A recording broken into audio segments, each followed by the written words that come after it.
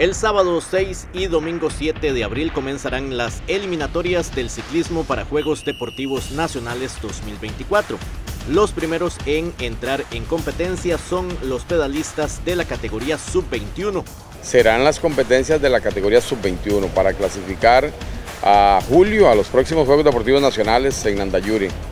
Este, la categoría sub-21 nosotros, bueno, primero que todo esa categoría solo eh, permitió la inscripción en individual, entonces son cinco ciclistas máximo que van de cada cantón.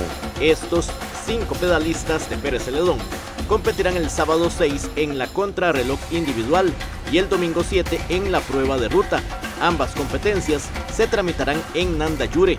Elías Chinchilla, eh, Dylan Quiroz, Christopher, eh, Christopher Campos y eh, va Said Méndez y Kendall Cibaja. Esos son los cinco ciclistas que van a, la eliminatoria de ruta y que este, estaríamos participando el próximo sábado en la contrarreloj individual, 29 kilómetros, terreno bastante plano, em, que cierra en Nandayuri.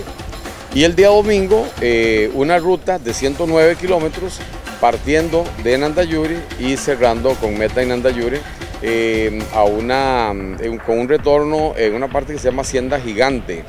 Eh, únicamente, bueno, por lo que estamos observando en la ruta, hay dos, topes ahí de dos kilómetros eh, únicamente en toda esa ruta, son 109 kilómetros y pues la gran mayoría es plano, terreno muy plano, muy caliente.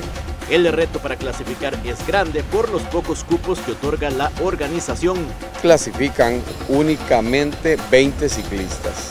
De las cosas que hacemos aquí en el deporte eh, a nivel nacional, un pelotón de 20, eso no es lógico, pero, pero la clasifican los primeros 20 eh, de la general de estos dos días. Hay sumatoria, ¿verdad? El sábado y domingo se suma, hay una general, los primeros 20 son los que van a Juegos Deportivos Nacionales.